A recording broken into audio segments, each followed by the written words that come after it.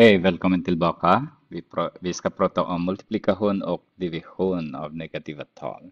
I din bok i sidan 19 säger bara multiplikation och division, men det handlar om negativa tal. Så jag har skrivit negativa tal där.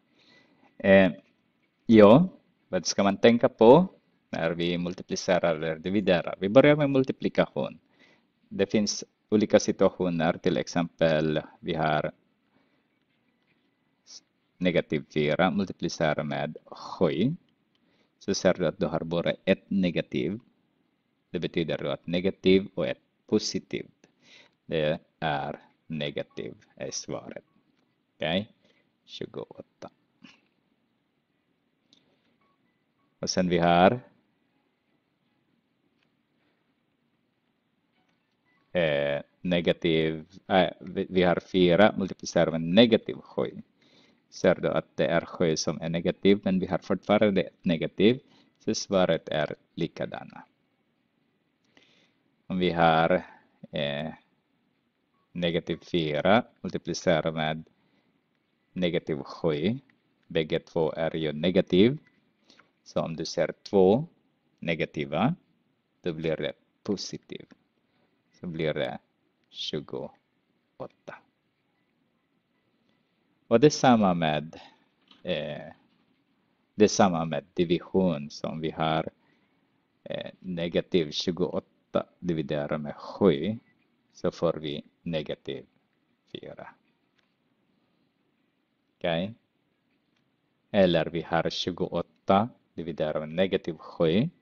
Det är fortfarande negativ 4 därför är det bara ett negativ som vi ser. Men däremot om vi har negativ 28 dividera med negativ 7. Det är två negativa så blir det positiv istället. Okej, okay? de där är principerna eller reglerna som vi måste applicera. Vi ska titta på några exempel. Här ser jag redan att jag har 1, 2, 3. Så de här två blir de positiva. Så har jag 24 eh, dividera med negativ 4 så har jag eh, 6 negativ då. Mm. Och här ser jag att jag har neg äh, två negativa. Så jag har negativ 6 multiplicerar med negativ 10. Så har jag 60. Därför jag har två negativa. Och här räknar jag hur många. 1, 2, 3, 4, 5. Det finns 5. Så jag förväntar mig att mitt svar är negativt. Därför att de här två blir positiv. Vi skulle kunna räkna det. Så har vi negativ 6. Multiplicera med 10. Jag behöver jag inte sätta den i parentes. Oj, vad som har hänt nu. Okay. Negativ 6 och sen 10 och sen dividera med 4 då där. Så har vi bara ett negativ där. Det är därför att vi har negativ 60 dividera med 4. Då har vi negativ 15. Ja. Eh, de där är reglerna som sagt som ni ska använda för multiplikation och division.